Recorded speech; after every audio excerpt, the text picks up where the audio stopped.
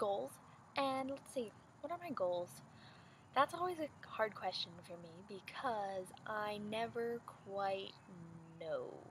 When I was little, I always wanted to be a veterinarian and I did everything to be a veterinarian. I had a little box of like that of all sorts of veterinarian things. And my uncle, he's a vet, and he gave me a book of like the how-to of vets, and then I had like little ant dog toenail clippers, dog toothpaste, and brushes, a stethoscope, and a little like lab coat. Then I wanted to be a movie director, so I watched every single movie, like old movie. I took a film studies course I wanted to do, and I did all these things. So whenever I have a goal, I act on it. And I'm trying to think of other things. There must there are tons of things. I'm always get these things set in my head, and then I will work really hard at them, and then I changed my mind. But the only thing that I've actually ever stayed with was little.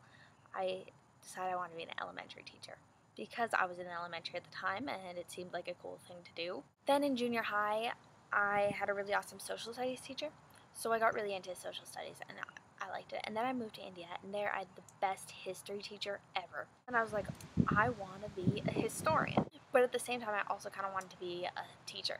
So, history teacher makes sense. We put those two together. And so, yeah, that's kind of what I've stayed with this whole time. So, I'm in grade 11, and exciting news I got accepted on a Spain exchange program. So, I will be going to Spain for two months in April and May. Yeah, so excited. So in August, there'll be a Spanish person coming to live with me. And then after that, I'll go over there. Ooh, it's a little windy. That's what I'm doing grade 12. And I'll graduate. Hopefully. You never know. No, I'll graduate. Then I'm going to take a gap year. And during my gap year, I kind of want to go and... There's all sorts of programs where you can go to, like, small villages and in, like, well, anywhere, really and you can teach there, teach English.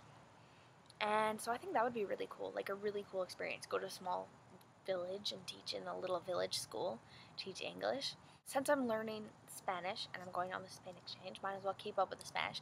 So I was thinking somewhere in South America, which would be really cool. So I was looking it up and I found a program that you go to Chile, you stay with a fam like a host family there for I think it's like six months or something, and you teach English at the school. And I think that would be so much fun. Like, that'd be such a cool experience. I don't know. I just want to do something cool in a gap year. And then after that, I'll go to university. I'll get a teaching degree, or and some maybe like maybe get do a master's degree, do all sorts of stuff, and then I'll hopefully teach high school. I've changed since elementary. I don't want to teach elementary anymore. I want to teach real things. I mean, elementary you learn important things, but you learn the basics of life. But I want to teach like higher learning things. I don't want to teach teach AP classes so they actually care what they're taught learning.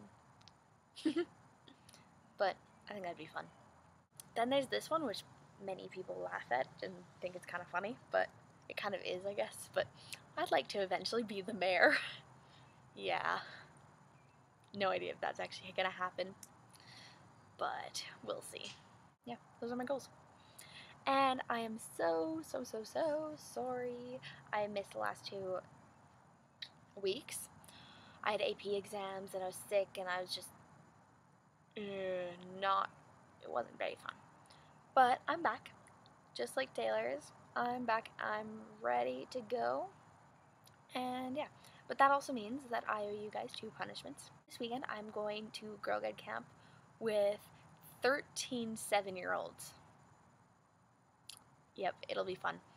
I'm missing Rocky Horror Picture Show for it, but that's okay. I will have fun with them anyways.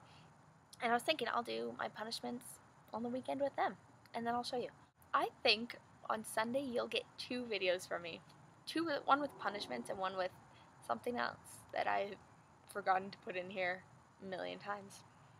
So yeah, surprise weekend video on Sunday. Yeah, it's good. I like staying outside. I, I, should vlog outside more. Taylor, you'll like this. I'm sitting right next to Buddha. And there's another one over there. Wait, oh, the chair's covering it. Taylor, I'll see you on Monday. Oh, shaky camera.